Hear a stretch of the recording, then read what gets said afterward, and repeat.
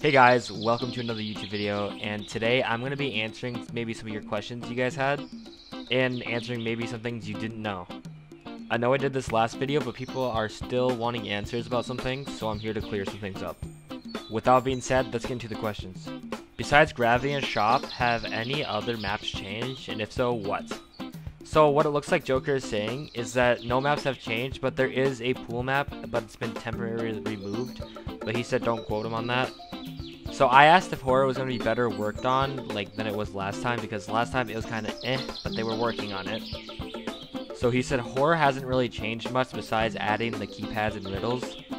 I think that's pretty cool. I mean, it's nice to have an objective to get to Dave, so this is pretty nice. I asked if they had any big plans for horror just because that's kind of what Capuchin is known for, what how it got famous and he was saying like they want to kind of steer away from horror because they want to add different game modes and stuff to make it a lot more fun. For example, if you look in the background, um, Rising Lava, that wasn't in yet because they were working on it. But I think it'll be cool if they steer away from horror a little bit and just attempt to do other game modes. That'd be cool. So the next question I asked is how long do they think it'll take for it to be out after beta testing? And this is what he had to say. So he said depending how many bugs there are and stuff, it uh, that'll depend on how soon it comes out because you know we they want to fix the bugs. So I asked if they were gonna get hacked so easily because last time I mean I won't say it was easy, but they get they did get hacked. This is what he said. I'll let you guys read it so you can make of it what you want to think of it. You know.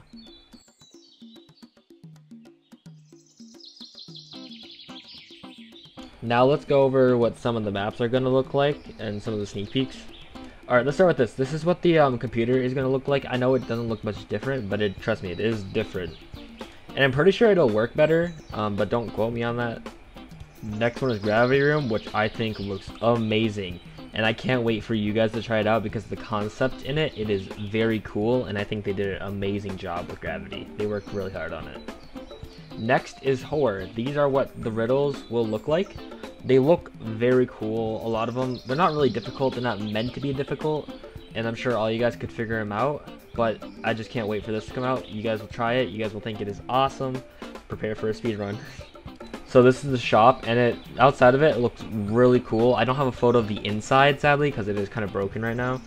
But as you can see, there's the sign on the left that was by the camera room, if you guys remember correctly.